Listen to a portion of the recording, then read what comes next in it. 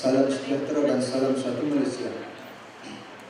Yang berbahagia, Dr. Muhammad Jalaluddin Hassan, Ketua Jabatan Penyelidikan dan Inovasi Profesional Smart Keguruan, IPG Kampus Datuk Razali Ismail, yang berusaha Ustaz Burhanuddin bin Ismail Timbalan Ketua Jabatan Hal Ehwal Pelajar IPG Kampus Datuk Razali Ismail Pensyarah-pensyarah kanan Pensyarah-pensyarah seterusnya siswa guru yang dikasihi sekalian.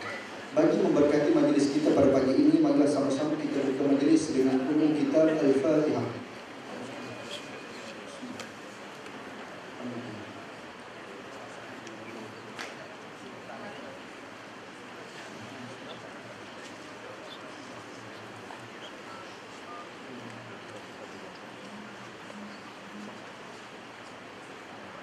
Alhamdulillah bersyukur kehadirat ilahi kerana dengan limpah dan kurnianya dapat kita berkumpul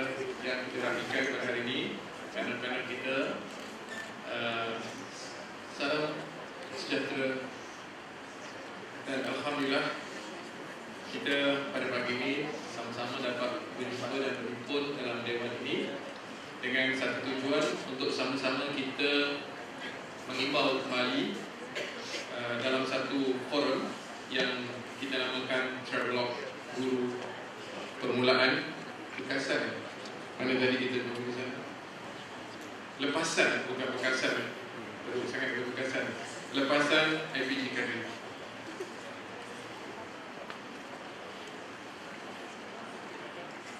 Ya, uh, tajuk kita pada pagi ini lah uh, Travelog Guru Permulaan.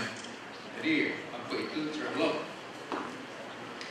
Kalau mengikut uh, Kamus Dewan Edisi keempat Travelog membawa maksud Satu ceramah filem, brosur dan sebagainya Yang berkaitan dengan pelbagai kisah perjalanan atau pengembaraan Jadi Bila tajuknya hari ini adalah Travelog Bermakna di situ ada elemen-elemen perjalanan dan juga ada elemen-elemen pengembaraan. Tapi yang jelas ialah sebagai seorang guru permulaan kita harap uh, bakal-bakal graduat kita yang akan mula berhadapan dengan masyarakat pada tahun hadapan eh, yang mana saat ini berada dalam semester 8 mereka akan memulakan perjalanan itu pengembaraan itu. Perjalanan kerana perjalanan hidupnya masih jauh lagi pengembaraan mungkin ada yang akan dihantar ke P3 misalnya kita sama-sama lah doa supaya mereka pengembaraan itu lebih lebih menarik lah dalam mewarnai kehidupan mereka. Jadi pada pagi ini saya tak tak bertujuan untuk uh, memanjangkan uh, itu. Pengenalan dengan saya sama-sama berkongsi pengalaman. Pengalaman yang telah mereka lalui sebagai guru permulaan iaitu saudara uh, Muhammad Afiq Abdul Latif yang sekarang berkhidmat di Sekolah Kebangsaan Lekit Melaka.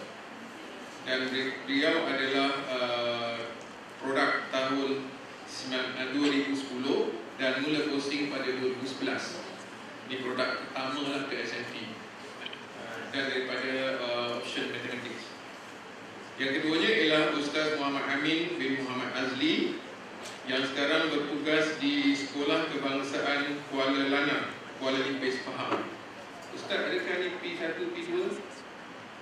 P1, Alhamdulillah P1. Okey. Dan beliau juga adalah merupakan uh, first batch PSMP kita. Sebenarnya pihak PIPK juga menyebut seorang lagi, Nur Azira binti Hilaludin, Sains daripada option Sains 2013 dan sekarang berkhidmat di Sekolah Kebangsaan Bukit Bintang Tertinggi oleh kerana beliau kabarnya sangat aktif dan anak buahnya akan menghadapi peperiksaan uh, usaha kot. Eh? Jadi beliau tak dapat uh, hadir bersama-sama pada hari ini dan kabarnya juga PPK bercadang untuk membawa uh, lepasan IPG Kadri yang berkhidmat di Sabah dan Sarawak.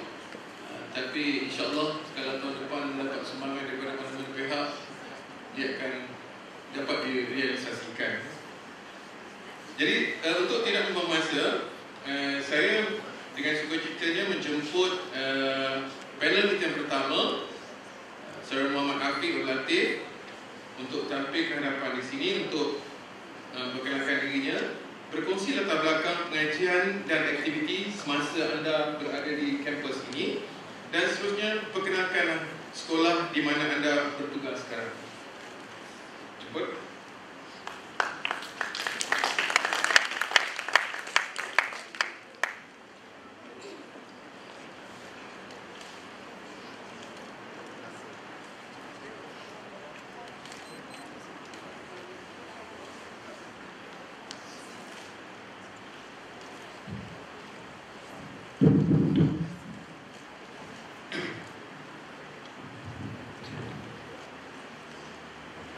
Assalamualaikum warahmatullahi wabarakatuh. Dan selamat sejahtera. Yang dihormati Tuan Moderator Tuan Haji Nordin.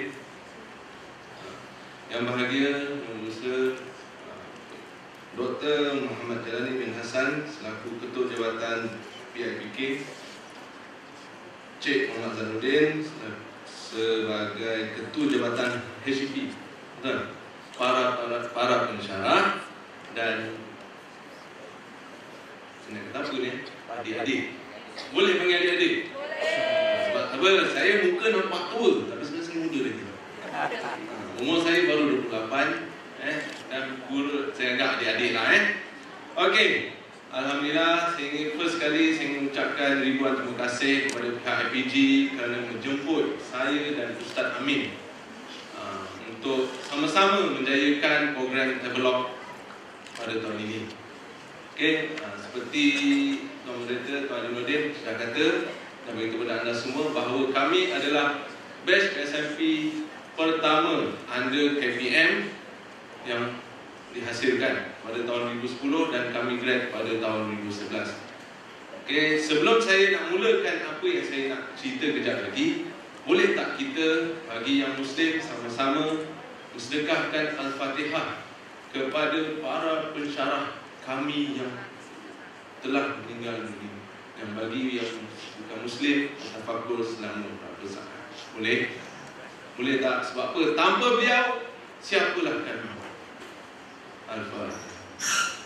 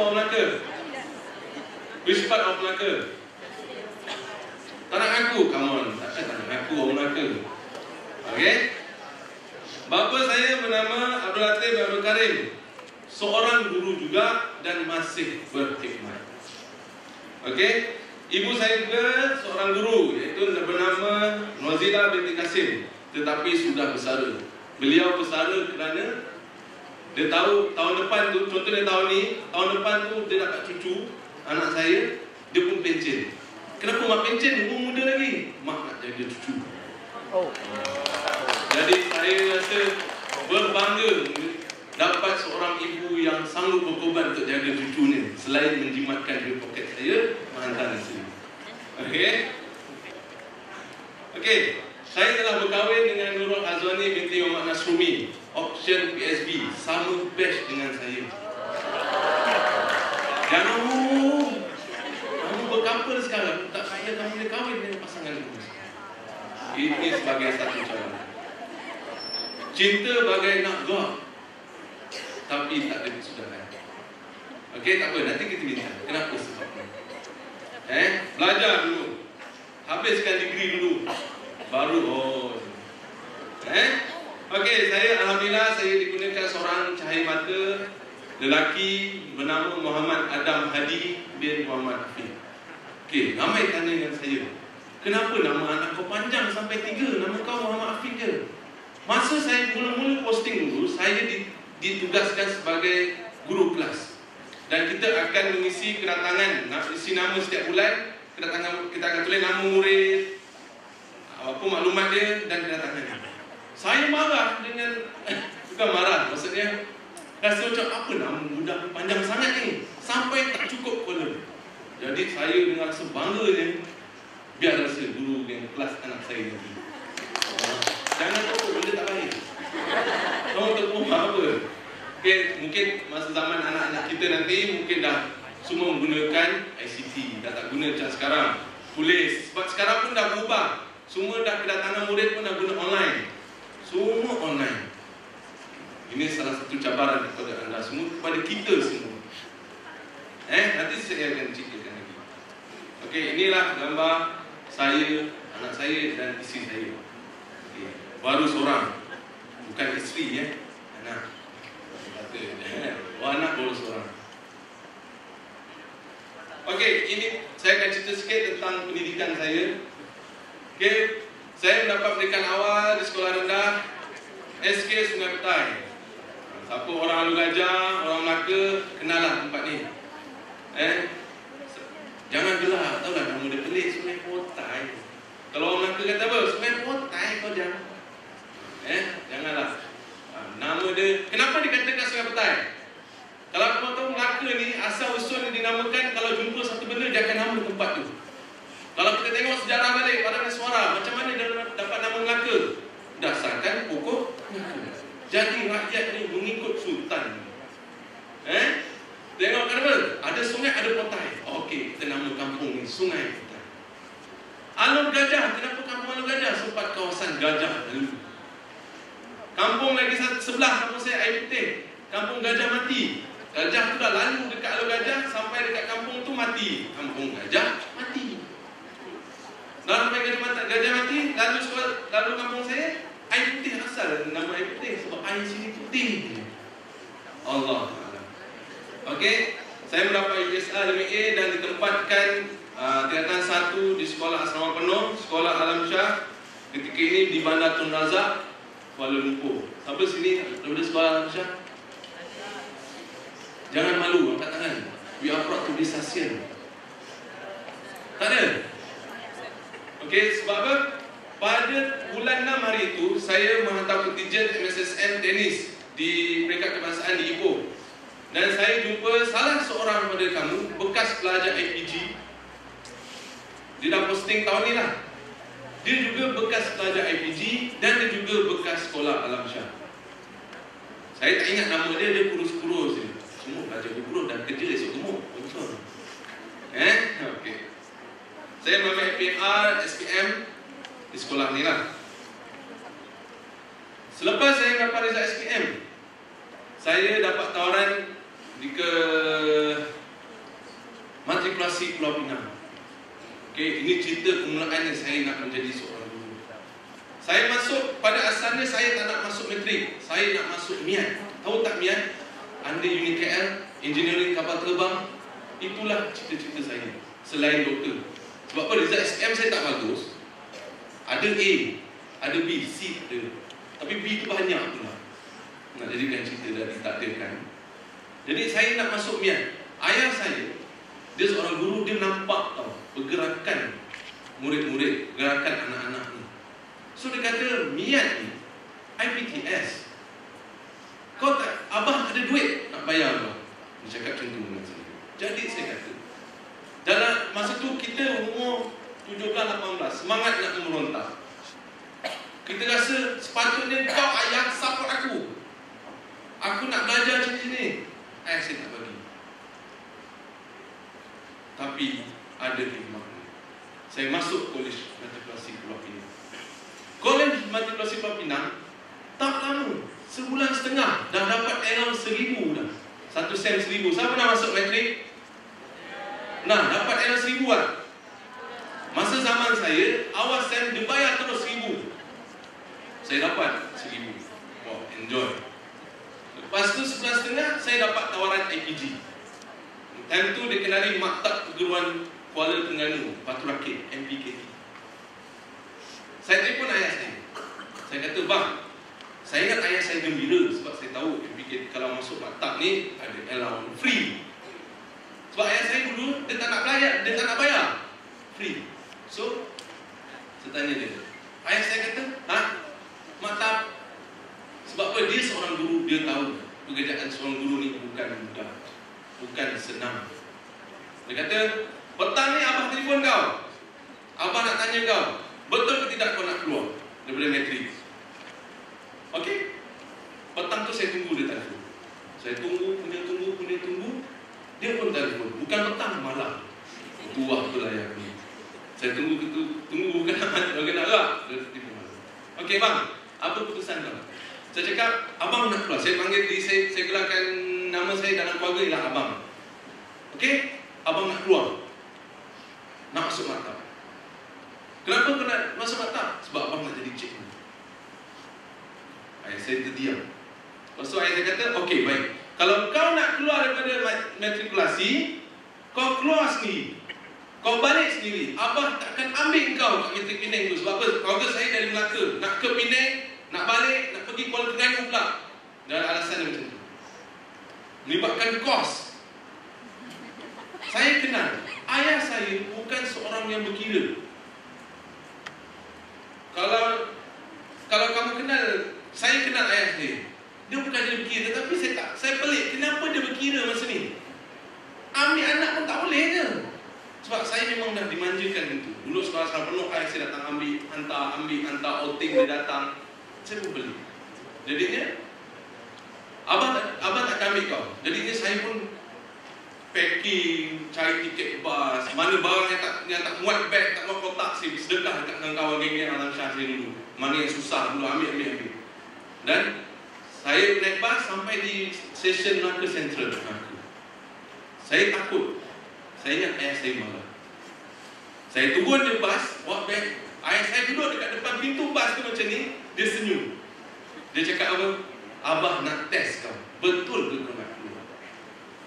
Kalau kau nak sampai Melaka dengan ciri cara kau, maksudnya kau bersungguh-sungguh nak jadi seorang Itulah cerita saya macam mana saya boleh masuk PKT Okey? Selepas Okey, habis cerita tu. Masa pun tak ada ni. Okey, selepas saya grad pada tahun 2010 dan posting 2011, 7 Februari 2011. Saya melanjutkan pelajaran saya ke peringkat master, peringkat sarjana di Universiti Kebangsaan Malaysia. Okey. Sekejap, sikit ni. Okey, saya cerita tentang ni dulu. Masa posting itu, budak batch saya, budak lelaki, kebanyakannya dipostingkan di Sabah, Sarawak. Dalam kelas saya lelaki, dua orang sahaja di Semenanjung. Ini cerita betul, cerita benar. Yang Max satu, kelas Max satu untuk makluman para pesara. Okey. Yang pertama di Raut, di Lipes. Dia ditempatkan sebab dia dah kahwin. Dan kedua saya dipostingkan di Melaka. Masa tu menjadi isu, menjadi perbualan. Kau guna kabel besar, kau guna wireless, macam-macam dia kata. Saya pun tak tahu. Ayah saya pun tak tahu. Eh, kau seorang dapat posting Melaka. Semua pelik. Itu dah dinamakan takdir. Eh, saya ditempatkan. Sebab apa saya dah merantau daripada negara satu sampailah umur saya 24 dan 25 saya dikembalikan cik. Dikembalikan di negeri sendiri. Okey, Alhamdulillah. Yang kamu tunggu-tunggulah di mana saat kamu nak posting. Eh, Alhamdulillah. Okey, ini antara gambar-gambar saya konvot pada tahun 2011 di PICC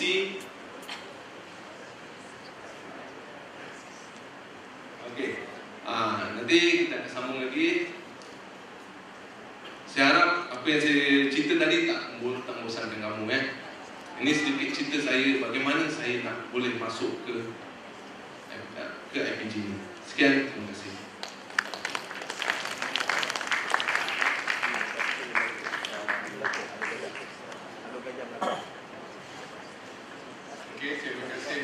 Cikgu Muhammad Afiq kan. Dan seterusnya kita jemput pula Ustaz Muhammad Amin Muhammad Azli yang bersekan bertugas di uh, SK Kuala Lanang. Silakan.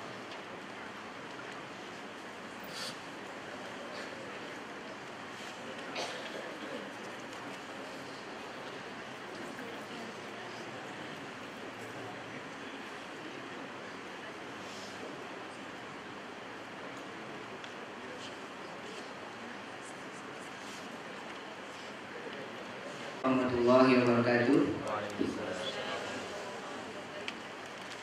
Yang mulia Tuan Kursi Majlis Haji Nordin bin Munir Tua Jabatan PIPK Dr. Haji Jalani Hassan Pemangku KJHDP Ustaz Baharudin Para pesyarah kanan, pesyarah-pesyarah serta guru-guru pelatih yang disayangi kalian Temannya malah sama-sama bersyukur pada Allah Subhanahu Wa Taala kerana dapatlah kita pada pagi ini bertemu dalam satu program terbelah ya. Jadi insyaAllah uh, saya minta maaf lah Pertamanya kerana uh, saya punya powerpoint tak masuk dalam pendrive ya. uh, Apa ni mungkin kalau kita boleh tunjuk lah. Jadi saya uh, secara live lah tak, tak ada apa tu? Uh, presentation ya. Jadi saya pertamanya saya memperkenalkanlah diri saya. Uh, nama diberi Muhammad Amin bin Muhammad Azli. Muhammad Amin bin Muhammad Azli uh, berasal dari uh, Macang Kelantan Pasal daripada Macang Kelantan uh, dan sekarang uh, bertugas di SK Lanai ya. Bertugas di SK Lanai iaitu sekolah asli uh, di uh, pedalaman Raut ya pedalaman 1 dan saya telah berada di sekolah tersebut selama uh, empat tahun uh, dan sekolah yang pertama iaitu di SK Teluk Gunung uh, selama setahun ya. jadi lima tahun lah. jadi sedikit uh, pengenalan ya. saya uh, daripada PISMP ambilan Julai tahun 2005 uh, dan tamat pengajian pada 2010 Dilahirkan di Pasir Putih, Kelantan pada 27 hari bulan 8 tahun 1985 uh, Sudah berkahwin dan dikurniakan tiga orang anak. Dan masih lagi uh, belum ya, uh, menyambung pengajaran uh, pem, pem, menyambung pengajian ya, uh, ke peringkat master ya. uh, Mungkin ada orang kata sibuk membesarkan anak-anak ya. uh. Terusnya Uh, penglibatan di IPG ya penglibatan di IPG semasa berada di IPG uh, saya pernah uh, dilantik sebagai ketua kelas. Terusnya ketua biro agama JPP, uh, SU JPP, ahli jawatan kuasa uh, badan dakwah uh, JPP dan pernah mewakili IPG dalam nasyid peringkat kebangsaan dan membuat persembahan nasyid di Majlis Tilawah Al-Quran mereka antara bangsa di Terengganu dan pernah mewakili IPG ke Musabaqah Hafazat Al-Quran uh, peringkat kebangsaan ya. Uh, jadi itulah sedikit banyak pengenalan untuk diri saya uh, jadi saya sebenarnya mengucapkan uh, ribuan terima kasih kepada pihak uh, IPG kerana menjemput saya dan sahabat saya uh, hadir pada pagi ini untuk berkongsi eh, dengan uh, para pensyarah dengan guru-guru pelatih uh, berkenaan dengan perjalanan hidup kita sebagai uh, guru pelatih hinggalah uh, menjadi guru yang sebenar ya.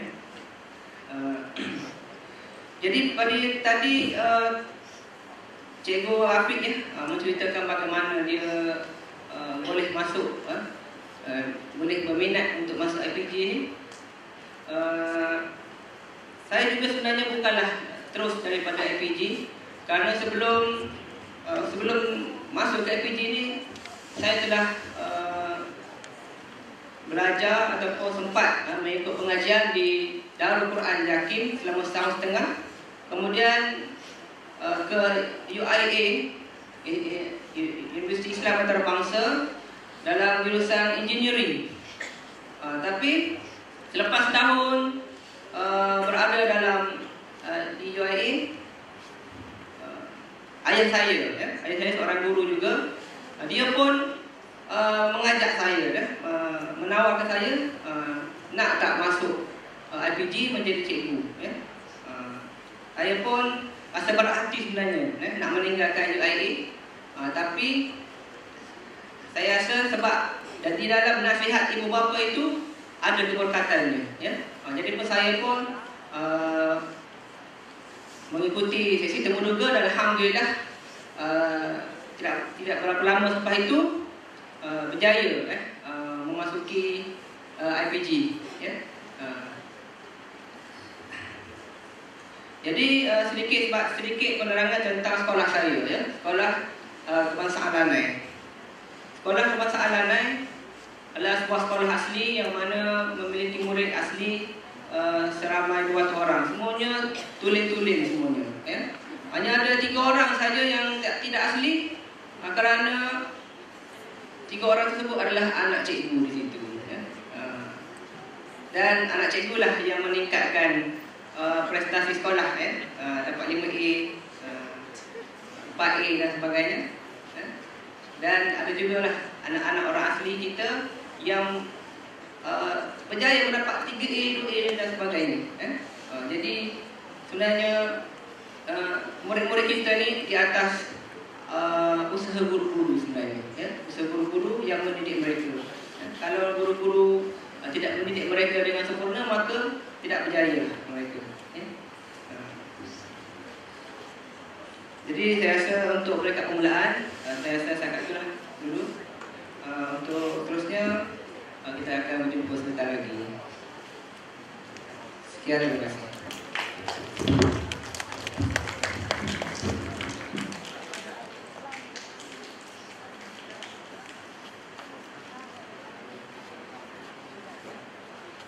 Terima kasih Ustaz Amin. Saya biarkan saja mereka bercakap dulu sebab kita nak lihat dia warna yang sebenar, the true colour of uh, our student ni. Ya. Dan uh, saya juga difahamkan ada satu cerita yang menarik tentang uh, Ustaz ni. Sebenarnya bila Ustaz ni first time dia dapat posting ke sekolah tu, jadi guru besar akan ambil guru-guru baru ni di TPD.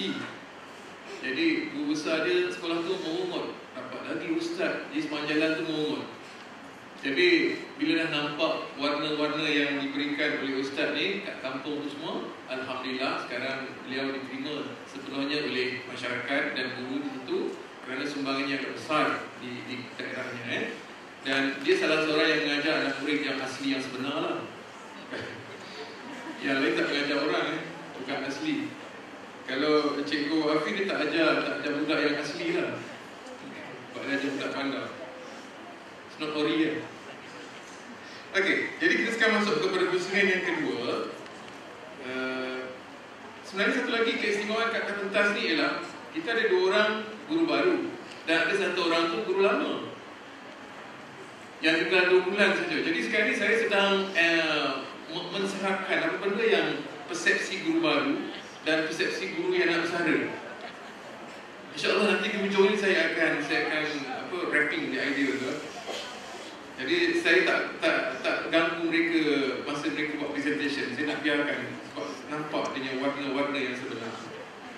Okey, sekarang kita masuk pusingan yang kedua. Pusingan kedua ni lah atas permintaan PI, uh, PIPK sebab sekarang ni kita sibuk dengan kita punya uh, AR yang sem, sem 8 tu malam tu mengikau AR, AR, AR semua.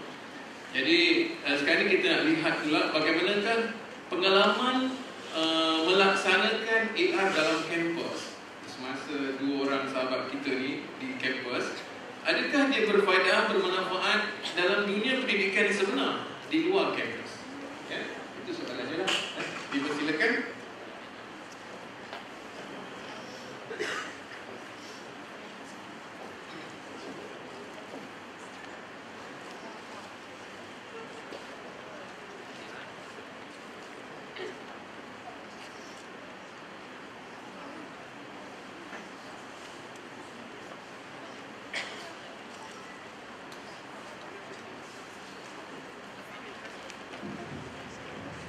Okey, terima kasih kepada Tuan Moderator, Tuan Haji Tuan Haji Din. Okey. Cerita tentang AR. AR dikatakan dalam bahasa Inggeris action, dalam bahasa Melayu ni kajian tindakan. Okey. Saya nak tanya kamu, apa yang kamu faham tentang kajian tindakan? Boleh seorang volunteer? Sebelum kamu tanya saya, saya tanya kamu dulu. Nak present lah esok eh Esok nak present ha. Tak ada Alright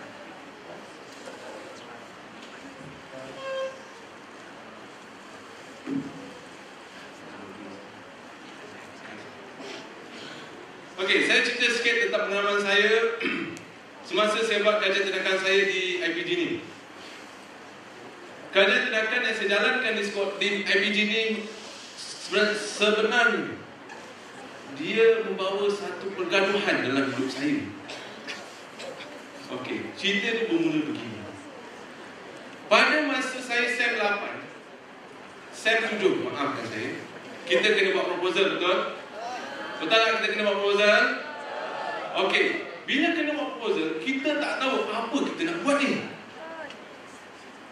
Betul? Betul tak? Apa? Kamu tak nampak lagi apa, apa kamu kena buat. Apa kajian yang kamu nak buat. Apa tajuk yang kamu kena buat. Okey? Jadinya, saya tanya dengan masa praktikal tu, saya tanya kau partner saya. Eh, kau saya panggil dia beri, beri. Apa nak buat dia? Ha? Dia kata, okey, kau guna je alatan aku ni. Kau ada masalah budak menolak tak? Eh, ada. Aku ajar budak ujung ni memang masalah menolak. Pinjam semula. Saya jadi ada satu bahan bantu mengajar yang kawan saya buat, saya ingat dia buat. Rupanya dia pinjam daripada kawan dia. Kawan dia tu pula pinjam daripada girlfriend dia. Ini isu couple dah semata minta semula tu. Pinjam, pinjam, pinjam, pinjam. Jadi ya, girlfriend dia pula jadikan bahan bantu mengajar tu sebagai dia punya kajian tindakan dia. Jadi benda tu dah berlapik-lapik, lapik-lapik. Dah ber tindih, tindih, tindih, tindih. Jadi saya dah buat lah. Masa pembentangkan proposal. Si perempuan ni, saya tak nak sebut nama dia, kemungkinan kamu kenal sebab dia famous. Sebab dia cantik, ayu. Oh. Tapi saya tak nak sebut nama dia. Eh? Dia sudah marah saya. Dia kata, kau tiru kerja tindakan aku, kau tiru proposal aku.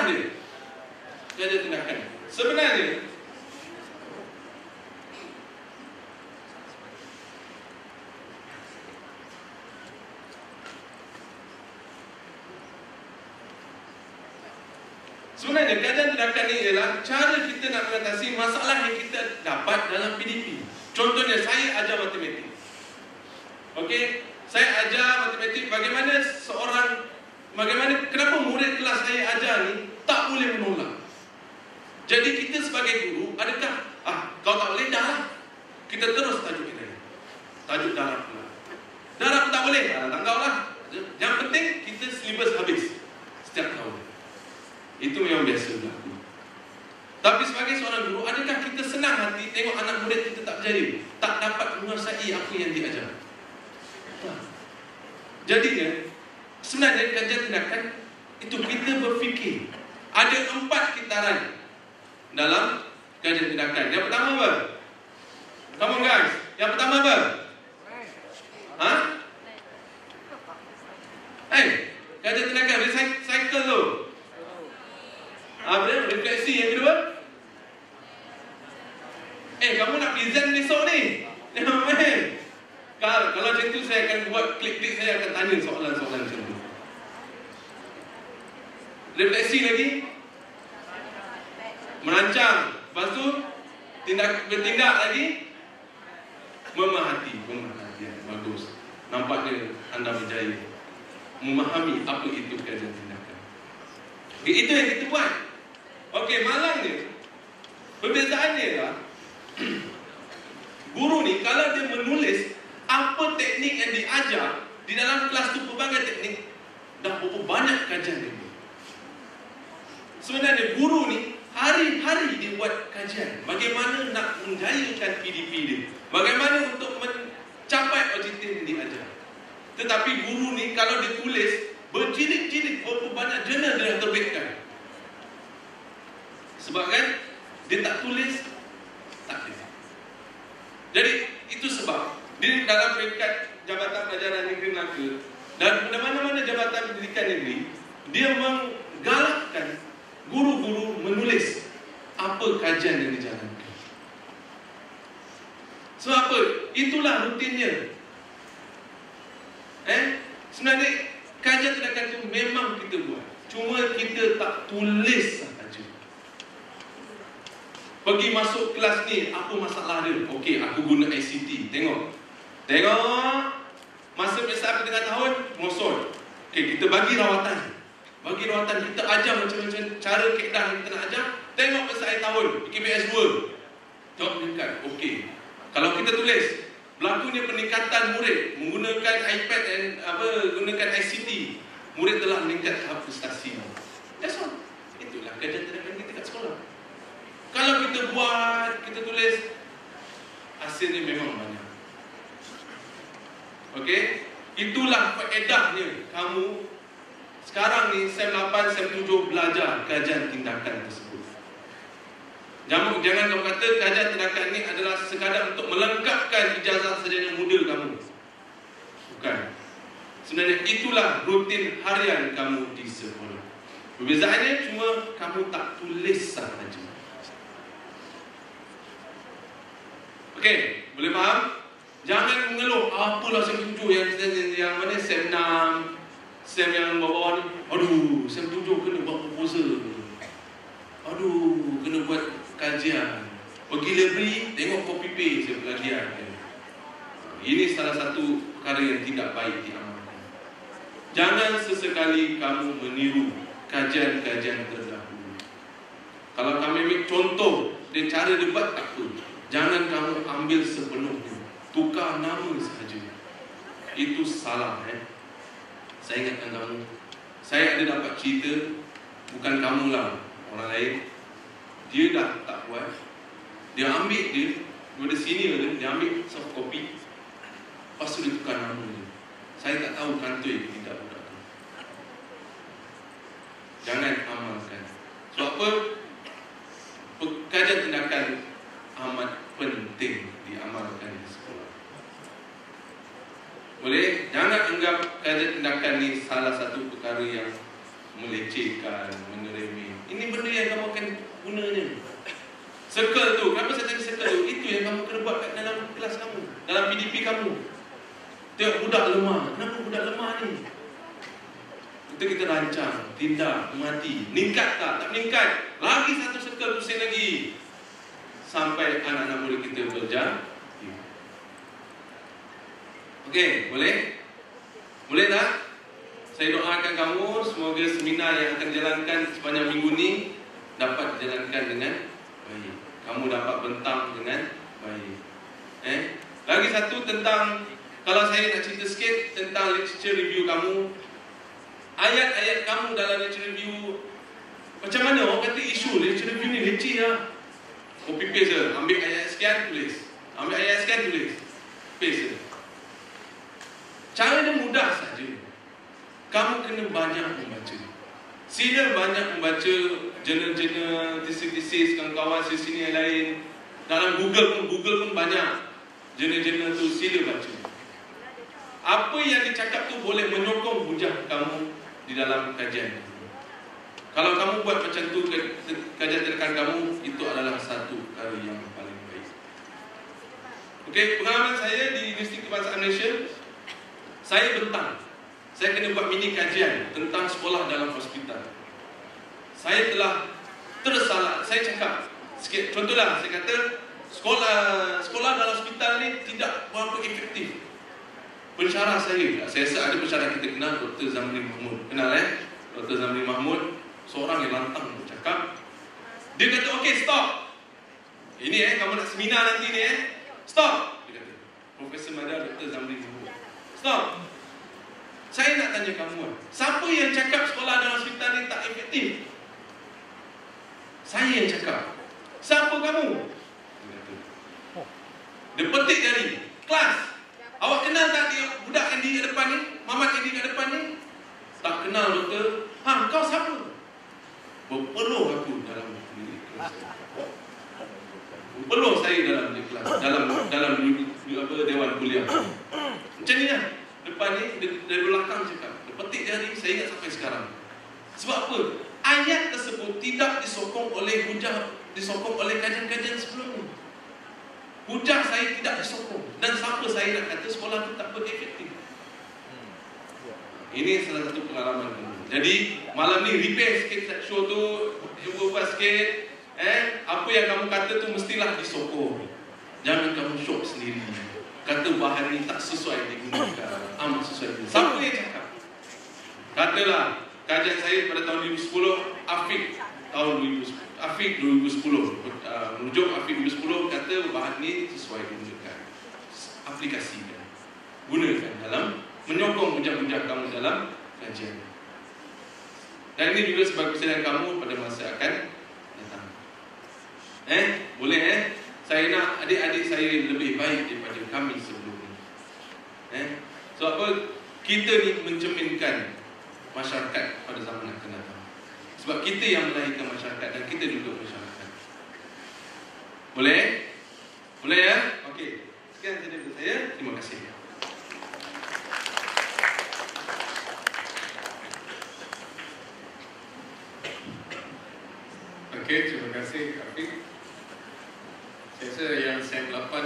saya tu uh, Boleh quote tadi kata-kata tu Saya pernah cakap dalam kelas Siapa awak?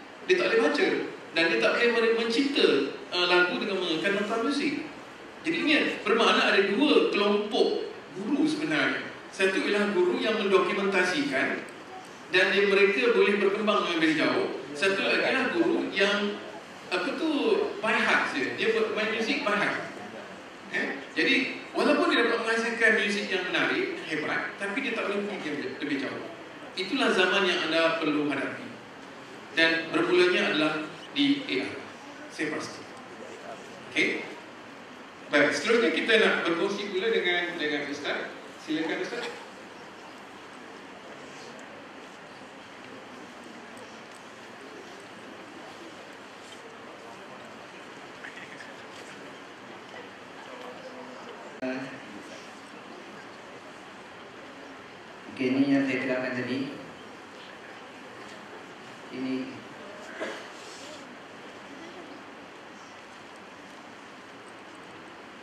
Okey. Bismillahirrahmanirrahim. Terusnya perkongsian tentang uh, menjalankan uh, action research ataupun kajian tindakan. Ya. Okay. Bagaimana yang kita tahu uh, di alam kampus uh, kita belajar banyak uh, teori-teori pendidikan. Eh. Kemudian apabila kita buat kajian tindakan pun masih lagi kita uh, belajar banyak teori-teori tentang kajian tindakan.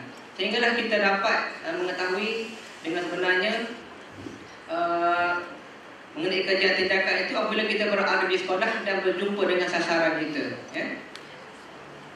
Hasil pembelajaran dan kajian yang kita laksanakan di alam kampus sebenarnya dipraktikkan kepada anak murid di sekolah. Ya. Saya ambil uh, contoh pada diri saya sendiri lah ya. Uh, sebagaimana yang telah saya lakukan uh, semasa di IPG Saya telah um, kajian tindakan uh, berkenaan dengan uh, penggunaan kad imbasan dalam pengajaran Jawi tahun 5 ya. Kemudian bila saya mengaplikasikan penggunaan kad imbasan uh, di sekolah Kita nampak ya hasil daripada penggunaan kad imbasan tadi eh, melalui ujian pre-test dan post-test eh, yang kita laksanakan bagaimana yang diajar oleh para para besar kita nampak di situ sama ada eh, penggunaan kad imbasan ataupun kajian kita itu berkesan ataupun tidak kepada murid-murid kita jadi masa di kampus saya dan sahabat saya telah membuat kajian mengenai keimbasan ini. Dan di semasa di kampus alhamdulillah berjaya lah eh, berjaya. Uh, semasa semasa itu saya uh, membuat kajian di sekolah uh, Teluk Teluk Ketapang. Kan? Betul eh Teluk Ketapang. Uh, untuk murid-murid tahun 5 dan alhamdulillah berjaya. Itu adalah di sekolah uh, di sekolah murid yang Uh, perdana ataupun murid biasa, murid Melayu. Kan? Tapi apabila saya berada di uh, sekolah asli, saya cuba mengaplikasikan hasil kajian tindakan yang saya buat uh, di sekolah asli. Uh, bila kita lihat pada uh, kesan ataupun hasilnya adalah berbeza. Eh? Hasilnya adalah berbeza kerana tahap uh, murid di sekolah asli dia berbeza dari segi ingatan dia. Ya. Kalau hari ini ah, kita ajar uh, huruf Jawi, mungkin esok dia dah lupa. Eh. Maksudnya tahap ingatan dia tu tak berbeza. Eh. Jadi kita bila di sekolah kita boleh lagi uh, membuat kajian tindakan uh, semula. Ya. Uh, kalau di IPG kita buat kajian tindakan berdasarkan murid-murid uh, yang berbangsa Melayu. Tapi bila kita berada di sekolah kita buat lagi kajian tindakan untuk situasi yang sebenar iaitu murid-murid di sekolah kita. Ya.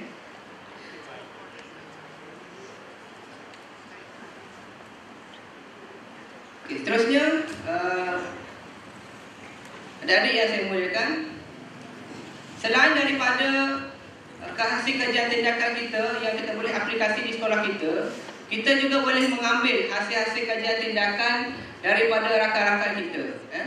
Contohnya, uh, saya mengambil uh, hasil kajian tindakan yang berjaya yang dilaksanakan oleh uh, Ustaz Fauzi, ya, rakan sekelas saya, iaitu dia menggunakan ICT. Ya.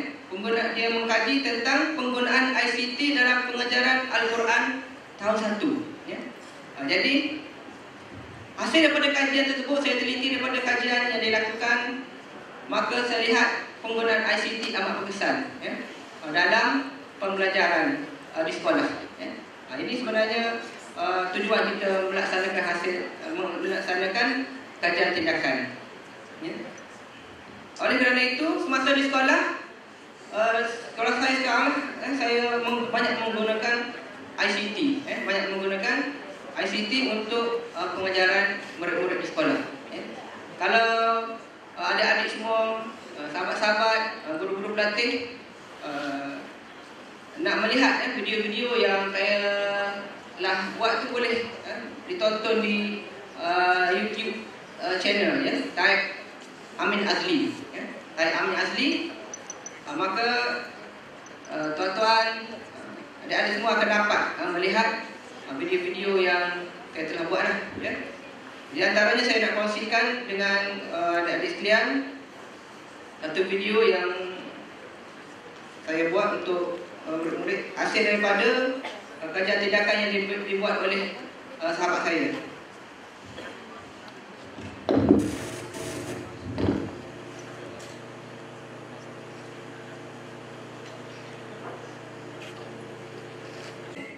Okay,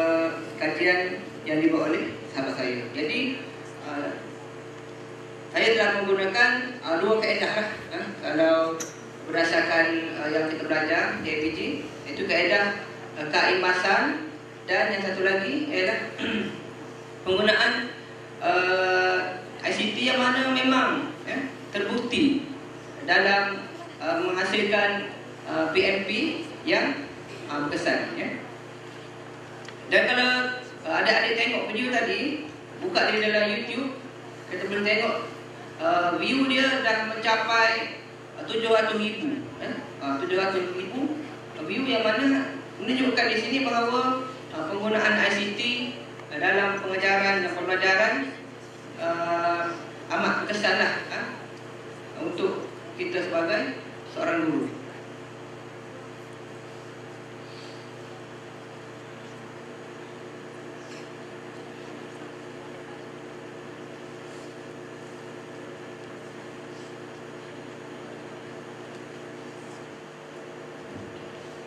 Jadi uh, saya uh, mengharaplah mengharapkan uh, adik-adik semua guru-guru pelatih uh, menjadikan kajian tindakan yang kita akan buat uh, kali ini uh, menjadikan ianya satu uh, perkara yang benar-benar penting untuk kita mengkaji eh, kaedah-kaedah pengajaran yang berkesan bagi keperluan kita untuk mengajar uh, di di sekolah nanti. Eh. Kita kena pasti mana uh, kaedah-kaedah uh, yang baik, kaedah-kaedah yang betul-betul berkesan eh, untuk uh, murid-murid uh, belajar dengan sempurna, belajar dengan uh, kefahaman yang optimum. Ya.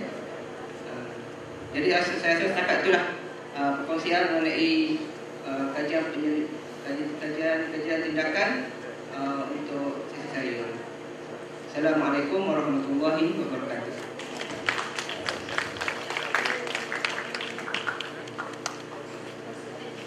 tentang uh, latar belakang pusingan pertama, pusingan kedua kita cerita tentang uh, AR Bila tentang akademik ni senyap je macam graveyard ceremony pula Okey, uh, seterusnya kita pergi kepada pusingan yang ketiga. Uh, Pusingan ketiga ni kita pergi kepada subjek guru dan cabaran semasa. Okay. Kita nak lihat pula uh, bagaimana cabaran-cabaran yang mereka hadapi semasa uh, di sekolah. Eh? Okey, Cepat juga.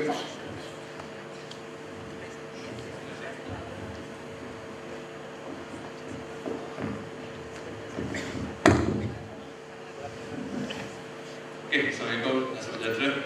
Okey, kita teruskan pusingan ketiga. Cik, macam pusing lah. Pusingan ketiga, cabaran dan isu semasa. Ini adalah topik yang menarik dan tak rugi kamu dengar. Okey?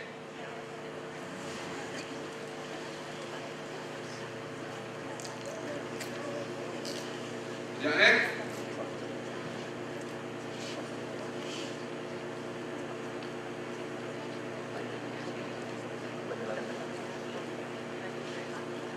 Okey. Sebelum tu saya cerita sikit tentang diri saya. Sebab apa ini cabaran setiap setiap cikgu ada cabaran dan pengalaman dia tersendiri tak sama dengan orang lain. Okey? Kalau kita tengok macam saya cerita tadi, macam saya cerita tadi bahawa saya adalah dua orang lelaki terpilih yang dapat posting sebenarnya.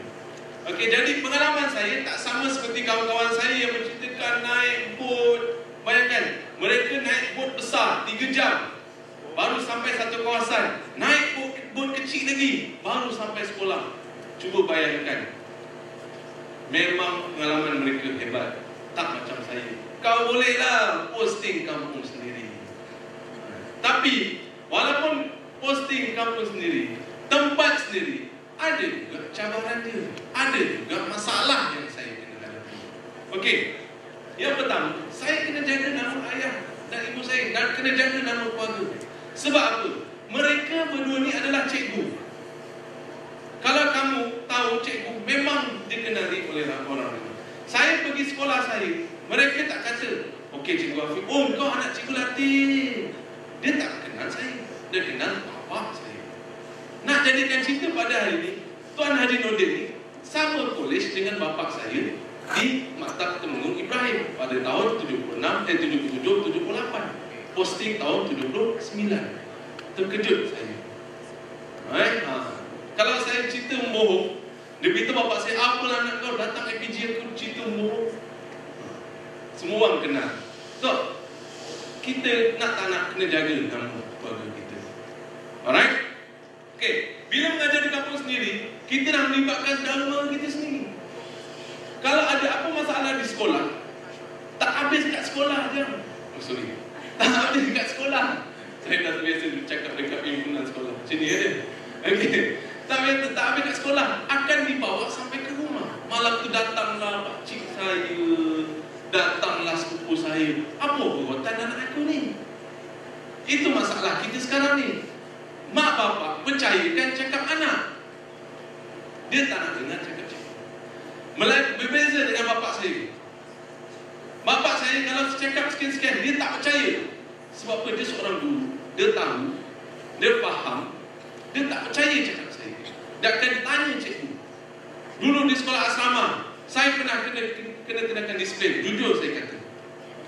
Bapak saya tak percaya pun cakap saya. Saya kata, abang buat macam ni, macam ni, macam ni, macam ni. Dia tak percaya. Kau tunggu abang datang. Saya dah takut. Dia datang, dia tak jumpa saya. Dia pergi jumpa warden dia. Warden saya. Warden dia buat apa? Jumpa warden saya. Dia akan tanya warden, okay, Cik Ustaz, apa cerita anak saya? Dia cerita-cerita. Dah tahu cerita pada warden saya, baru dia datang ke saya, time tu masak. Ha, eh? Kasar sikit bahasa saya sebab saya ni orang Melaka, cakap kasar hati baik. Eh? Okey.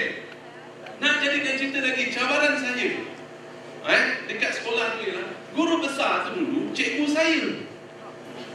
Cikgu dekat sekolah tu pun cikgu saya. Jadi apabila mereka ni ialah cikgu kita, kita datang kita datang ke sekolah tu, oh anak murid aku ni, anak murid aku ni, kita mula seronok, oh anak murid aku ni, oh. Kita rasa macam bangga. Cikgu kita adalah sekarang ni sama kerja dengan kita. Tetapi ada udang di sebalik batu. Lepas tu, Afiq, di sini. Eh, kau tolong akak ni, ni, ni.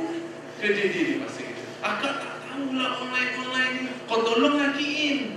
Oh, cantik. Ansel. Eh? Afiq, di sini. Kau ni umpama penyapu baru. Ha, ini kamu akan dengar, penyapu baru.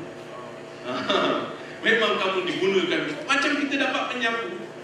Eh, kalau contoh hari ini mak kita beli penyapu baru, semangat berubah-ubah kita nak sapu rumah kita. Ha, macam itulah kamu digunakan dengan sepenuh. Tapi jangan merungut. Eh? Memang mula-mula kita akan rasa Apa semua aku? Tetapi kita tengok apa kebaikan yang kita dapat. Kebaikan ialah Semua benda kita tahu. Dalam masa saya Walaupun saya mengajar Saya belajar lagi. Bayangkan saya nak akhirkan masa saya itu Saya dapat belajar macam-macam Okay tadi? Saya pun lupa. Okey.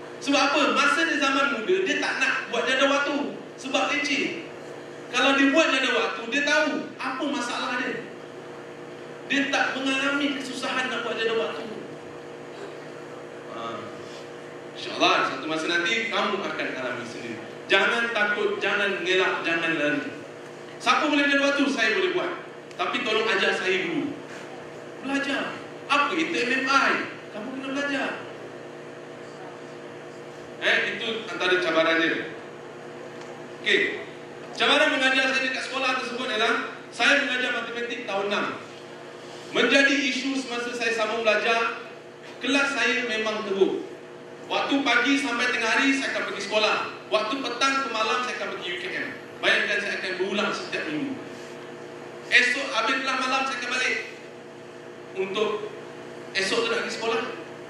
Jadinya, budak-budak yang tahunan, kelas tambahan saya dah macam banyak tepi. Sekolah nak kekalkan prestasi. Jadi saya buat cadangan, saya akan buat kelas pada hari yang saya free. Iaitu malam pada hari lain-lain. Sebab apa saya sibuk mengajar tenis, suka macam-macam saya buat. Nak cari duit lebih. Ajar tuition. Okay? Okay.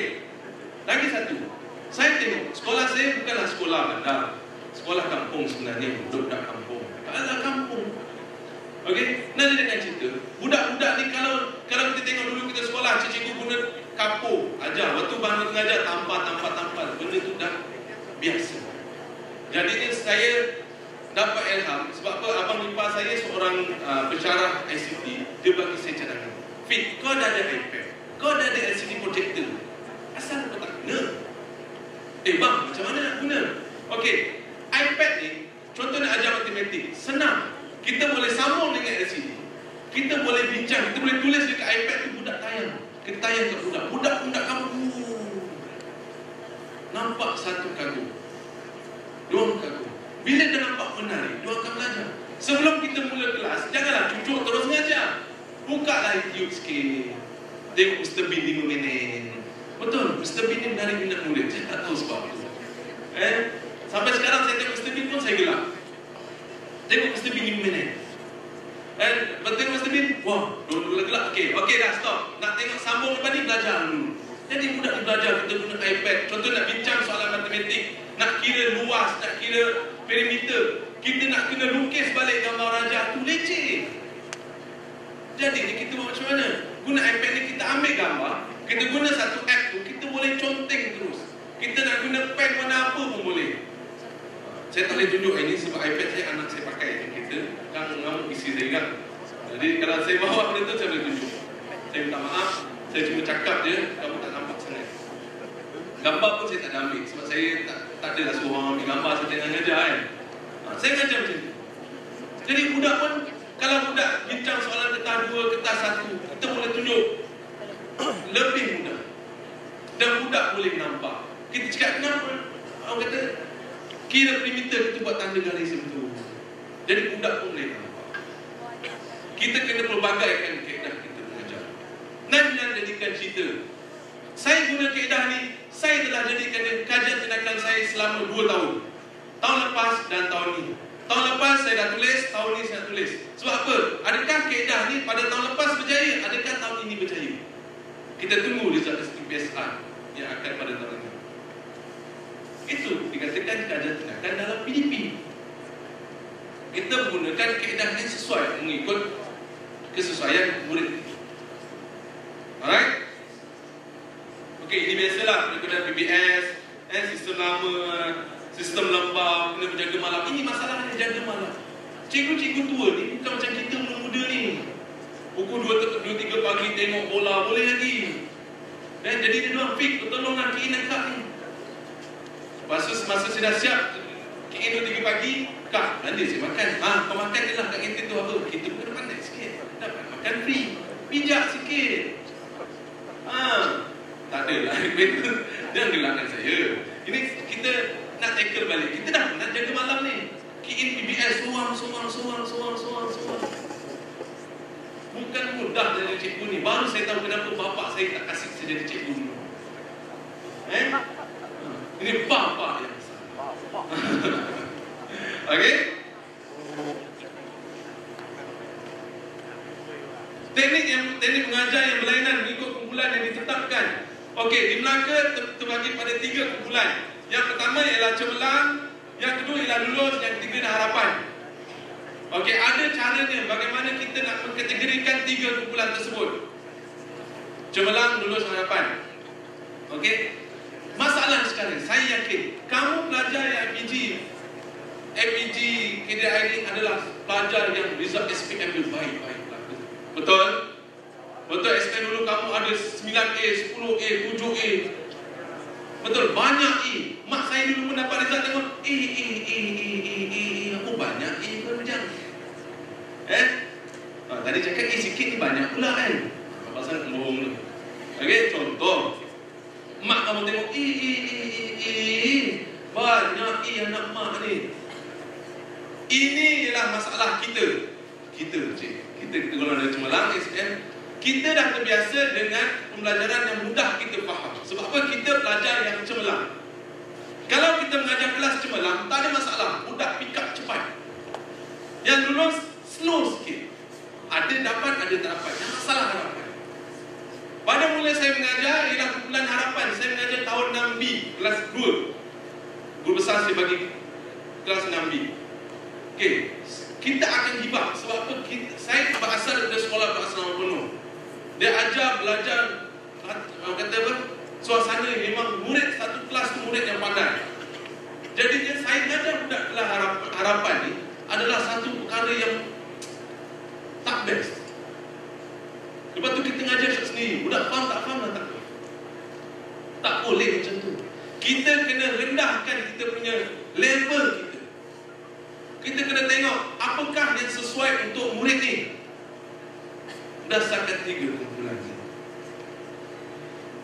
Tengok kumpulan harapan. Adakah keadaan ni sesuai ke tidak? Kalau sesuai, teruskan. Kalau tak sesuai, kena ubah lagi. Itu dia katakan kan, kan, apa, kajian tindakan kamu di dalam sekolah. Okey? Boleh faham eh? Okey, ha, nampak tak yang baju baju koprat warna biru baju putih tu? Itulah JPK satu saya. Bila menari hidup dia. eh? Bila menari hidup dia. Okey? Ha, ini antara warga sekolah saya. Kalau tengok saya dekat belakang JPK satu. Saya bawa buat JPK satu kena duduk belakang dia. Eh? Ada belakang dia. Sekolah Kebahasaan Melekit Guru dia selama 35 orang sahaja Tak ramai Murid adalah 300 lebih Okey, kenal tak siapa lelaki baju kemeja ni? Pernah jumpa? Izudin, dia budak PES saya Kamu sempat, siapa sih tahun SM8 masuk mata tahun bila? 2010 Mungkin kamu perasan atau tidak lah Okey, saya jemput dia Ini kelas malam di sekolah saya pada tahun lepas saya jemput dia sebab saya tengok dia dulu kat Sarawak asyik bagi ceramah, bagi ceramah, bagi ceramah saya nak tengok. Din, kau datang sekolah aku Din, bagi ceramah. Uh, teknik menjawab dekat murid aku, dia pun datang. Dan ini dia. Dan nampak envelope tu, itulah sagu hati kepada beliau. Saya cium dia. Datang. Dan saya ucapkan terima kasih. Din ni bagus. Cikgu Din ni bagus, dia menggunakan ICT. Nampak LCD screen tu dia turun, dia mengajar guna tu Memang bagus. Budak boleh nampak. Budak pun seronok. Bila kelas malam biasanya Dah malam Biasalah kalau kita dapat kelas malam Bicara kata Okey kelas ganti malam ni. Macam tu budak-budak sekolah Raja 6 ni. Tapi Cikgu Din ni menggunakan ICT Menarik minat murid untuk mengajar.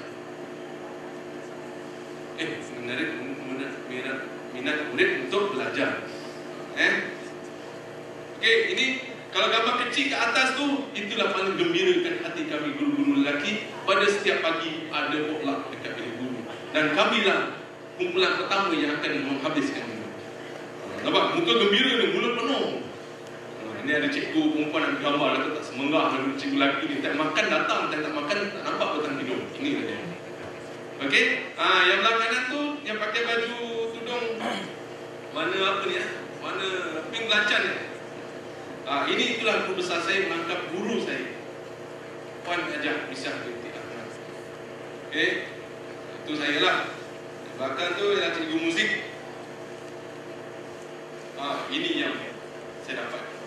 Ya Allah, akhirnya siap juga latihan yang diberi oleh Cikgu Afi. Dan saya nak ucapkan terima kasih kepada Cikgu Afi. Saya pun malas sama-sama. Agak-agak dia kenapa berlaku macam tu. Cuma kamu fikirkan, okey kita fikir dulu kenapa berlaku ni macam ni? Apa dia? Banyak sangat kerja. Yes, sebab matematik saya akan bagi latihan sebanyak-banyaknya. Tetapi saya tak marah kalau diorang tak siap. Contohnya 20 soalan saya bagi, diorang siap 10 soalan is okay. Saya akan bincang 10 soalan yang tak awal. Lepas tu dia akan balik buat lagi. So apa saya tahu matematik ni kena menggunakan latih tubi yang latihan yang banyak untuk menguasai. Tok budak tu mengeluh, ya Allah, cikgu. akhirnya siap juga kata cikgu Afi. saya dapat surat dan saya nak tanda buku. Budak ni betul lah kan. Feedback, feedback. Ha? Maklum pala.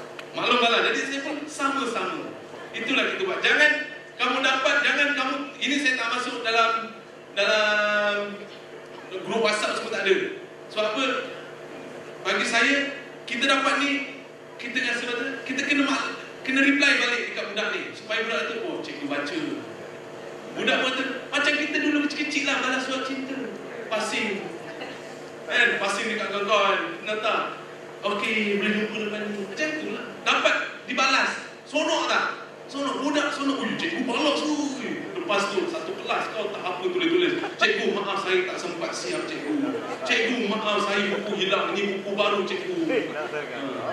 Dah semua tulis. tulis kat situ. Tapi tak apa. Asalkan mereka seronok di dalam kelas, saya okey. Asal dia rasa minat nak belajar, it's okay. Inilah antara yang kamu akan alami. InsyaAllah. okey. Cabaran yang... Ini sama belajar. Okey, saya selit sikit cabaran saya semasa saya nak sambung belajar. Saya posting pada 7 Februari 2011 dan saya sambung belajar, pelajaran saya pada September 2011.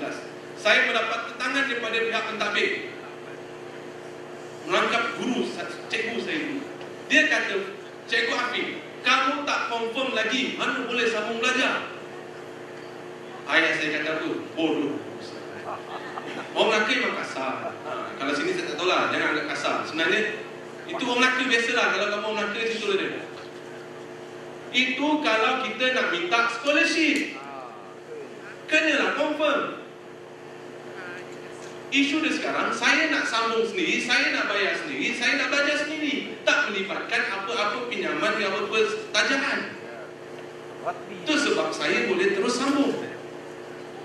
Benda, benda ni menjadi isu antara geng-geng guru besar. Sampai jumpa saya ada cikgu guru besar sekolah Olympic, boleh kau sambung? Boleh cikgu. Saya bukan minta scholarship. Ni bapak saya nak sponsor. Mungkin bapak saya nak sambung cerita tadi Mungkin bapak saya tu dia nak balas balik Dulu tak dapat tanya uh, support saya belajar kat Miak Dia sponsor saya Untuk belajar UKM Yuran baru RM1,085 satu sem Empat sem Baru RM4,000 Lebih kurang RM4,400 Siap combo Hampir RM5,000 Siap gambar, siap apa benda semua Jubah, siap jubah. Baru RM5,000 RM5,000 kamu dah kerja sikit je. Dan jadikan lebih baik Bapak saya sponsor, saya senyum je. Tetapi, kamu kena ingat Saya setiap minggu saya berulang ke UKM Minyak, tol Kawan-kawan saya semua beli kereta Vios. Oh, dan getah Beli Vios, beli Honda City. Saya pakai Persona je. Itu pun sama bayar kereta apa saya. Bayar 6 bulan 500 Sebab apa? Dua tak sama belajar. Saya guna duit banyak maksimum. Nak pergi kelas setiap minggu. Nak pergi foto state, nak pergi apa. Macam sekarang kamu belajar je lah. Itulah antara cabaran saya. Rasa saya mula-mula posting dulu Okey, saya dapat sokongan penuh daripada keluarga. Saya datang situ tahun 2010, 2011 datang ke sini jumpa persyarat untuk sokong saya sama belajar. Saya jumpa Dr. Tengku TZZ, saya jumpa Puan Norehan, KJ Matematik sekarang. Saya jumpa Cik Sabri. Saya jumpa siapa lagi? Banyak lagi saya jumpa, tiga empat orang saya jumpa. Untuk sokong sambung saya. Untuk sokong saya untuk sambung belajar. Dan Alhamdulillah, permohonan saya diluluskan. Okey. Saya bergegas ke UKM selepas tamat waktu sekolah. Bayangkan, kelas habis satu minit, pukul satu saya dah panas enjin. Saya pula buat jadual waktu. Jadual saya mesti pack pagi. Jadi pukul 12 ke atas tu dah banyak free. Itu kelebihannya.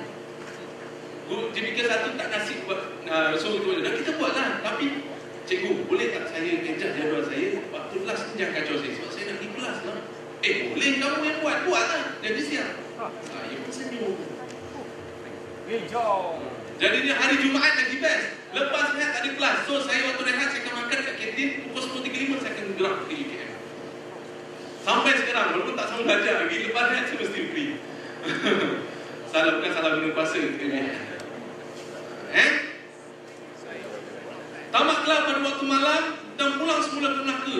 Sebab apa? Esok sekolah kelas hari Selasa, hari Khamis, hari Jumaat. Kena balik hari Sabtu sekolah kelas tambahan. Okey. Yuran alhamdulillah ayah saya taja. Ni MBF Finance. Mak bapak Finance. Alhamdulillah saya bersyukur kepada Allah Taala kerana digunakan seorang ayah dan ibu yang very supportive. Saya ingat dulu. Masa saya ayah saya habis grad UPM ni dulu pada tahun 94 95 Dia nak sambung belajar master. Masa tu dia tak dapat sambung. Dia bukan tak dapat. Isu dia dia tak boleh sambung. Kamu bayangkan mak bapak kita dulu Pencara-pencara kita dulu Sambung degree bukan senang. Gaji tak sampai seribu Sambung belajar gaji separuh Katalah gaji 800, separuh 400. Nak bagi anak anak bini makan, minum, pakai, nak pergi kelas. Bukan senang. Sekarang ni kementerian dah bagi offer cicit diploma untuk sang belajar. Full scholarship, gaji penuh. Pun ada juga cikgu yang tak nak sambung, yang berhenti. Ayah saya cukup marah. Sama, still saya respect pencara-pencara klik-klik cikgu lama yang sama belajar yang dulu yang potong gaji separuh memang amat mencabar. Di samping nak, nak, nak mengajar, dia nak belajar, dia dah perlu nak belajar, dia sanggup. Macam sekarang kalau kamu kerja, sanggup nak potong gaji separuh. Saya dah lima tahun mengajar, gaji saya RM4,000 lebih. Okey, Fik, nak sambung PhD, gaji separuh. Sanggup? Saya akan cakap tak sanggup. Rumah nak bayar. Kereta nak bayar. Ini salah satu cabaran. Boleh?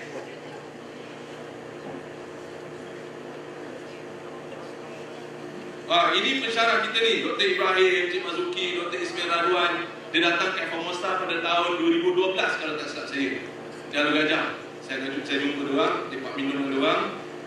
Okey, ini adalah slip pesan saya, saya taklah bijak sangat. Tak ada juga A minus B ya. Tapi alhamdulillah keputusan dijangka Ini gambar saya combo itu pada tahun 2013 alhamdulillah dah 2 tahun dah. Hari ini genap 2 tahun saya habis master saya. Ya, alhamdulillah. Ini dia, surat saya dapat. Saya dapat surat ni saya terus bagi dekat mak ayah saya. Ayah saya orang yang pertama mengirim. Sebab apa? Masa degree bapak saya tak datang tak datang combo saya. Dia kata, "Abah tak nak datang combo degree kau. Abah nak datang combo master." Rupa-rupanya orang tua ni bijak juga. Dia dijemput mendaki Gunung Kinabalu bersama sekolah degree Melaka. Dia tak dapat datang, jadi dia, dia, dia nak elakkan kita kecil hati, dia kata macam tu. Abah nak bersama master buat abah datang. Rupanya dia pergi naik Gunung Kinabalu kau. Tinggalkan aku kat PCC. Like father, like son. Like father, like son. Eh? Itu nak jadikan cerita ni. Lepas tu nak jadi bila combo master pula, dia dijemput lagi sekolah naik Gunung Kinabalu. Eh, apa Gunung Kinabalu ni? Anak ke ni? Dalam mak saya pun masuk campur. Akhirnya kami menang. Baik, saya datang. Oh. Kalau tak, tak ada kan dia kata, Abah tunggu combo PhD kau, buat ayah datang. Payah pula nanti. Eh? Ini tadi antara gambar isu-isu dia. Okey, ini gambar saya bentang dekat seminar di sini.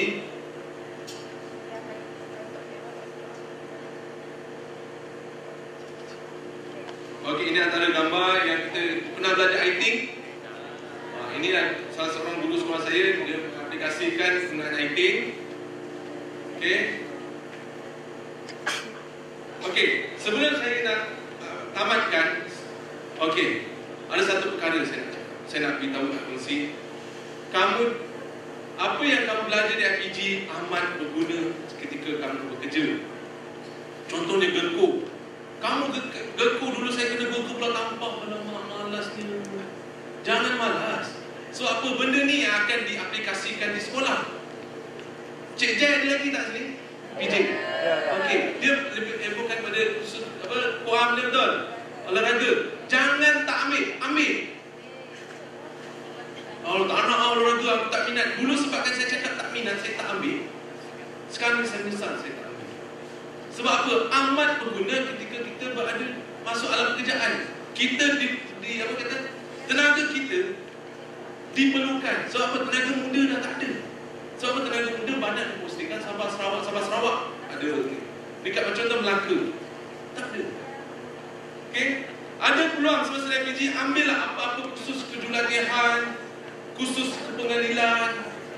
Saya pada tahun 2010 pada China saya sanggup tak balik kampung saya pergi Kelantan ambil kursus kejulatihan tenis. Dan alhamdulillah sekarang ni saya mengajar tenis di UiTM di Kolej Kemahiran Tinggi Mara. Saya mengajar lagi murid budak sekolah saya. Itu yang kita gunakan. Kita aplikasikan. Saya dah ajar murid sekolah rendah. Saya pun ajar di UiTM. Saya dah ajar budak kolej. Ini yang kita nak.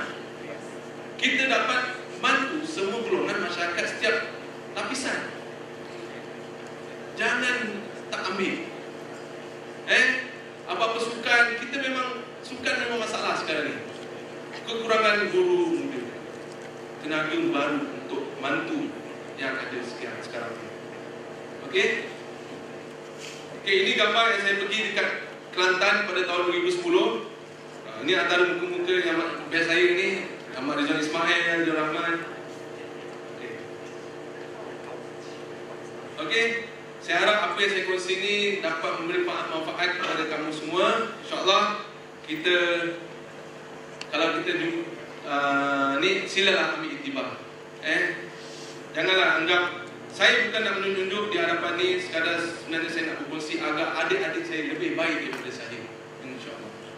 Sekian saja daripada saya. Terima kasih.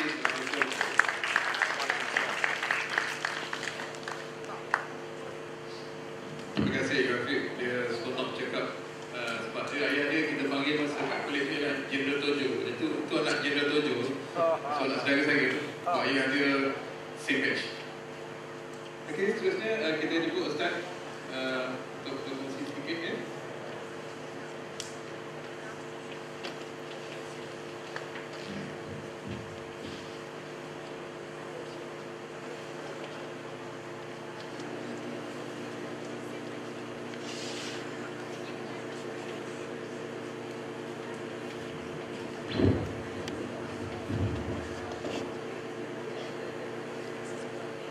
Assalamualaikum dan selamat pagi. Jadi seterusnya saya ingin berkongsi dengan adik-adik guru gratis sekalian mengenai bagaimana ketika kita nak posting nanti ya. Ha, Ini daripada pengalaman uh, saya sendirilah ya. Jadi bila kita mendapat surat jemputan nanti kita akan dijemputlah eh, ke PPD oleh pelajar pejabat pelajaran daerah masing-masing untuk talimat guru baru ya. Kalau saya di Pahang uh, dia semua guru-guru baru dijemput ke uh, dewan uh, di Kuantan ya. Kemudian masing-masing diberikan taklimat bagaimana uh, penempatan sekolah baru dan sebagainya. Dan di akar umum ya akar umum uh, di atas pentas tiap-tiap orang ya. Jadi guru-guru praktik ataupun uh, guru-guru baru yang datang tu rasa terkejut lah eh. Bila di diumumkan sekolah dia kan. Yang paling terkejut sekali ialah uh, guru-guru baru yang mendapat uh, sekolah-sekolah di pedalaman ya. Uh, pedalaman satu, pedalaman dua dan tiga kan. Jadi setelah tahu uh, nama-nama sekolah nanti uh, selalunya wakil daripada sekolah uh, ataupun wakil daripada PBD akan uh, datang menjemput kita dan membawa kita pergi ke sekolah eh. Uh, membawa kita terus pergi ke sekolah. Eh, ada yang naik helak, eh? Uh, ada yang naik uh, motor scrambler, eh? uh, dan salah seorangnya ada uh, di di Kuala Lipis, ya, pedalaman tiga iaitu SK Senderut, eh? SK Senderut uh, masuk naik helak, eh? dan baru ni dia naik taraf sebagai uh, P3, eh? uh, P3 iaitu allowance banyak 1,500, eh? baru ni 1,000, eh? P2 naik naik taraf lagi, jadi Uh, P3 itu 1100 ya. Jadi uh, persiapan kita sebelum posting uh, saya nak kongsikan dengan adik-adik semua iaitu kita adalah uh, solat hajat ya. Penting sebenarnya adik-adik semua kita solat hajat uh, sebelum, uh, sebelum kita posting supaya kita minta dengan Allah Subhanahu Wa Taala, minta dengan Tuhan kita uh, di mana kita nak posting sebenarnya. Ya. Saya sendiri pun di akhir-akhir uh, selepas isi orang posting tu Setiap hari saya uh, hajat supaya Allah SWT postingkan di negeri yang saya hendak eh? uh, Sebelum Allah SWT takdirkan kita Letak kita, postingkan kita di uh, negeri-negeri yang kita tidak jangka eh? Tapi bila Allah SWT telah letak kita di mana-mana negeri Kita uh, yakin dah reda lah dengan ketentuan Allah SWT Iaitulah Itulah sebenarnya tempat yang terbaik yang Allah SWT nak letak kita sebenarnya. Ya? Kita jangan rasa kecewa kenapa dah tak dapat Kelantan. Dah. Kelantan memang tak boleh masuk dah penuh. Ya. Kenapa dah tak dapat Terengganu? Ya? Memang tak dapat masuk. Ya? Kenapa dah tak dapat uh, mana Kuantan dan sebagainya. Ya? Jadi kita reda dengan takdir Allah Subhanahu Wa Taala. Tapi sebelum kita reda, kita berdoa dengan Allah Subhanahu Wa Taala biar uh, puas hati kita uh, mendapat tempat ini kita posting. Kemudian persiapan yang kedua iaitu dari segi kewangan iaitu apabila kita posting nanti kita buatlah sedikit simpanan semasa di dalam uh, IPG ni kita buat simpanan untuk uh, menampung pembelanjaan per, perbelanjaan kita semasa uh, mula-mula posting iaitu selama 2 bulan hingga 3 bulan kita tidak akan dapat gaji ya. kecuali kita memang baik betul dengan kerani sekolah uh, yang cepatlah urusan uh, gaji kita ya. Kemudian mungkin ada guru pelatih yang berkahwin ya. Uh, seperti saya sendirilah. Uh, masa saya uh, semester 7, akhir semester 7 uh, tunang saya mendesak saya supaya berkahwin. Oh. Jadi saya terpaksa akul lah ya, dengan uh, tunang saya kerana masa itu tunang saya dah uh, tahun pertama mengajar eh dia daripada IPG Campus Perempuan Naka ya. Uh, jadi uh, dia tanggung saya lah uh, untuk setahun ya. Uh, jadi jika ada sahabat-sahabat guru-guru pelatih yang berkahwin pada tahun ini saya nasihatkan supaya update status perkahwinan di Putrajaya dengan menghantar surat rasmi ke KPM. Bagaimana yang saya buat lepas kahwin itu saya pergi ke KPM update status uh, perkahwinan kita ya.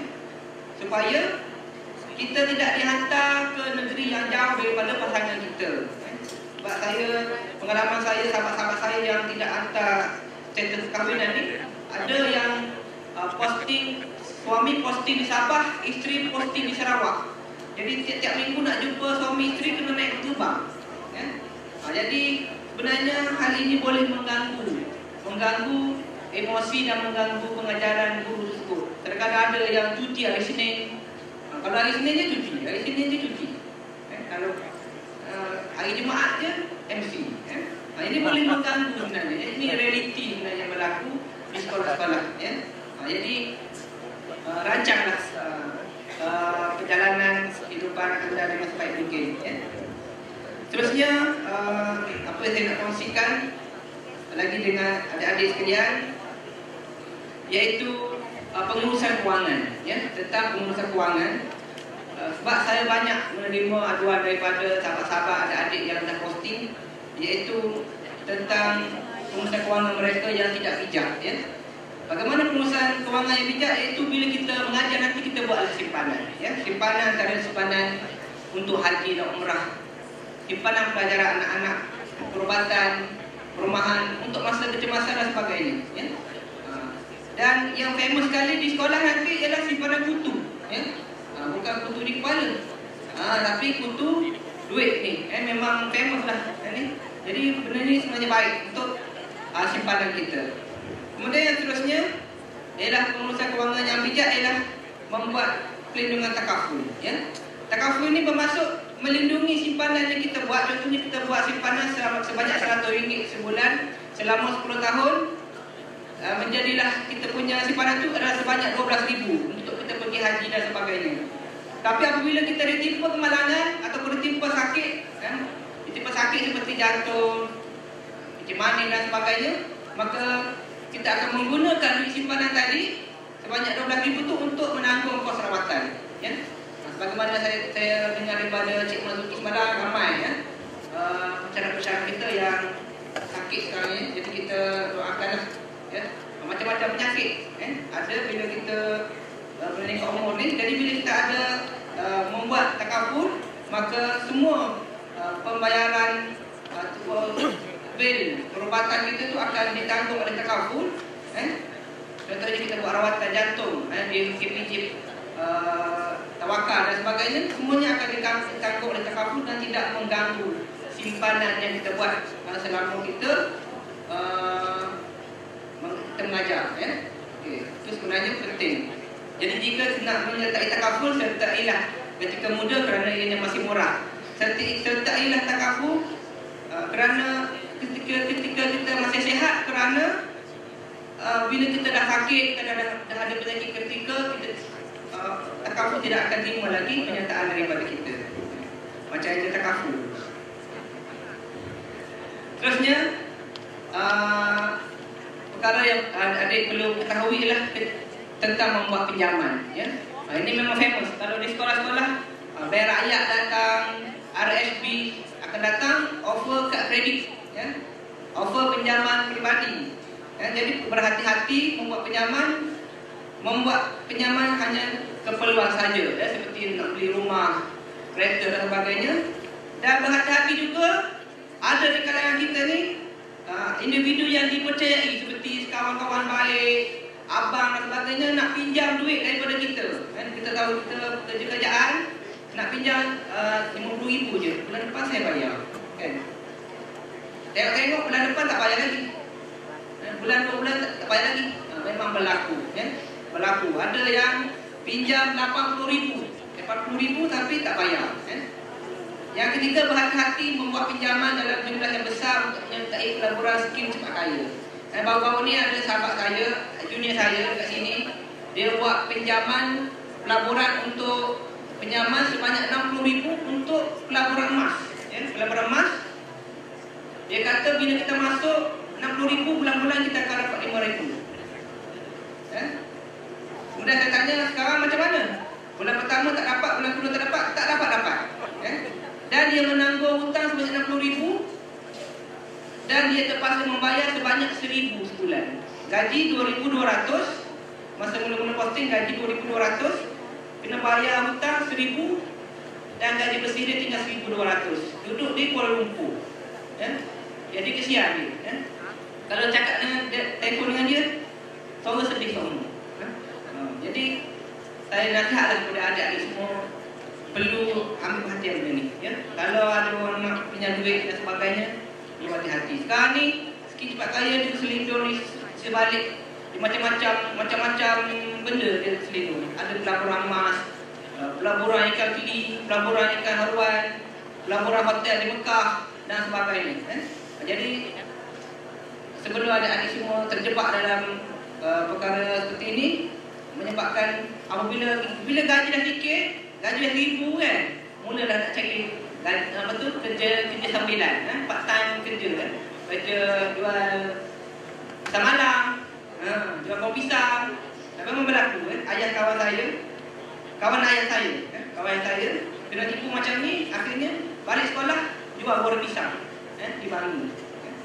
jadi sebelum kita terkena baiklah kita uh, cepat menyedari lah eh? memang berlaku perkara ni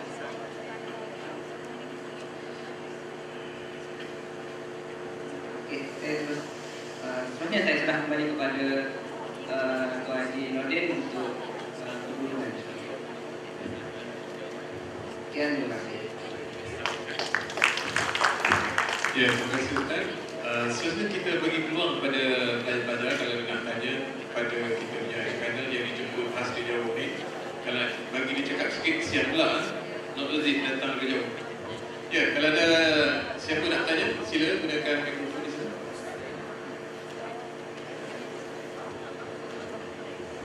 Tiga, dua, satu. Tak ada? Okey, kalau tak ada, uh, tak apalah. Jadi tadi kita dah banyak berkongsi dengan uh, dua orang bekas pelajar kita di sini. Beliau uh, menceritakan pengalaman sebagai guru permulaan. Jadi kalau kita perhatikan, saya saya nak berkongsi sedikit lah sebab sebenarnya saya dah cerita pasal semasa di apa, YouTube yang saya rasa ada manfaat juga kalau share sikit sini. Biasanya kalau kita nak berlari 100 meter Orang-orang PJ Sebelum kita berlepas itu Lepas uh, sebelum kita dilepaskan Otak kita dah set mind kita Seolah kita dah menang dekat ujung Di tali asing. Sama juga lah Kalau kita main golf Sejurus sebelum kita pukul Kita dah tahu bola tu masuk lubang Nombor berapa Pak berapa sebagainya Jadi Kerana itulah yang di, yang di, dilatih biasa oleh jurulatih Eh? Kemudian kalau kita perhatikan sini, guru permulaan biasanya di hari pertama dia dah menjangka apa yang akan berlaku pada diri dia. Apa perancangan-perancangan yang dia perlu buat. Dan bagi orang yang dah kat hujung pula, saya lah tu kan. Kita orang yang di hujung, di hujung apa tu uh, pejawatannya suka melihat kembali apa yang ada yang dah dilaluinya. Contohnya sebab tu, kalau kita dah lari 100 meter tadi, bila sampai kat tali hasil sana, kita akan tengok, oh itu tali track aku yang aku lari, aku menang.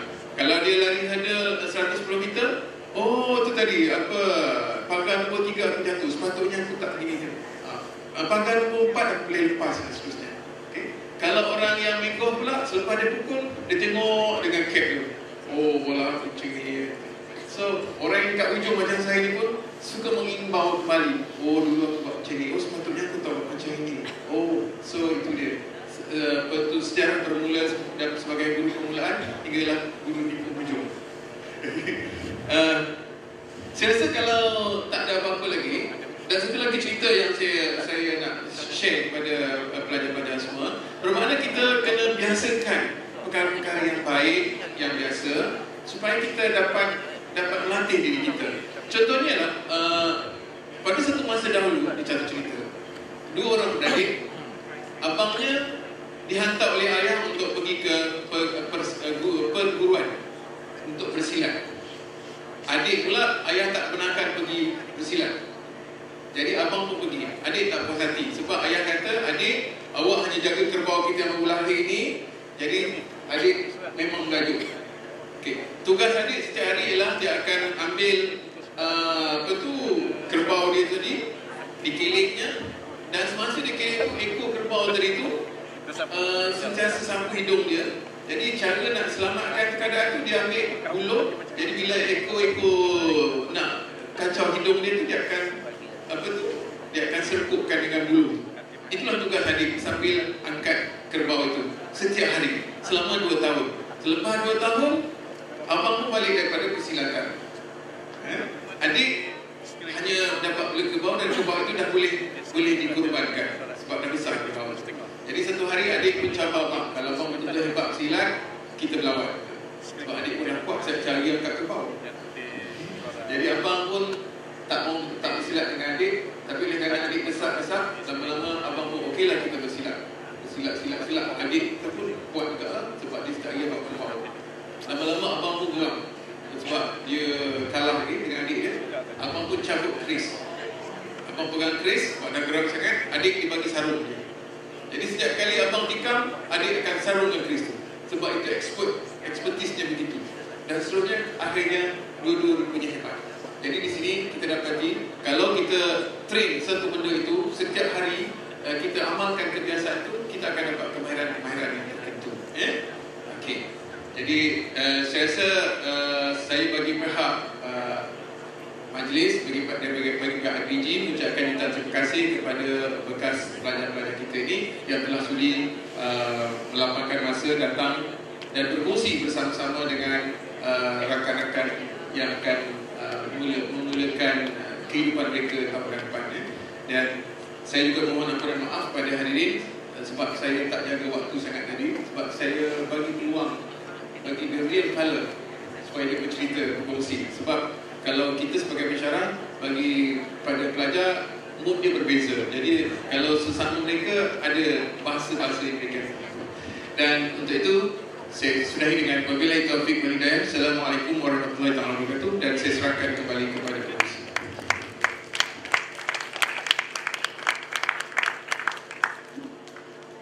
Terima kasih diucapkan kepada pemerintah dan kesemua barisan independen pada hari ini Diharap siswa guru dapat mengambil ilmu serta manfaat dari perkongsian yang telah kita jalani sepanjang pagi ini. InsyaAllah. Majlis diteruskan lagi dengan penyampaian cenderung hati. Dengan itu majlis mempersilakan yang berbahagia Dr. Haji Rahmani binti Abdul Hamid, pengarah Institut Pendidikan Guru Kampus Datuk Razali Ismail, diiringi yang berusaha Dr. Haji Muhammad Jailani bin Haji Hassan, Ketua Jabatan PIPK untuk menyampaikan kepada dengan segala hormatnya dipersilakan.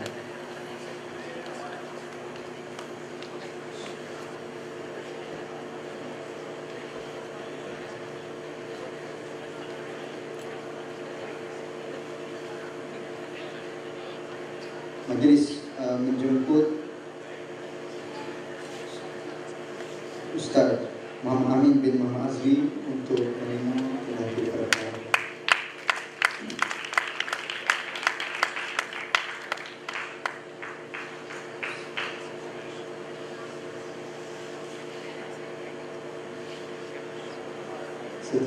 Panel yang kedua Cikgu Muhammad Afiq bin Latif